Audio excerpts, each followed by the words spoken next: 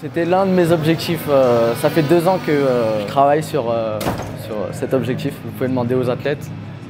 Je leur avais dit qu'un jour, on ferait championne de France par équipe parce que c'est que des athlètes que je suis depuis très longtemps. Solène était, pour, la petite info, quelqu'un de très timide il y a quelques années. Elle est sur une très très bonne lancée.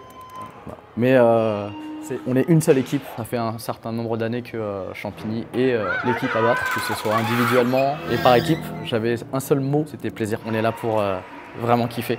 Lâchez-vous. Niveau de la stratégie, on n'en a pas appliqué tant que ça. C'était vraiment l'objectif parce que la Coupe de l'Ambassadeur, pour l'avoir fait il y a quelques années, c'est l'un de mes meilleurs souvenirs. Et je leur ai dit, ouais, c'est un moment que on s'en souviendra.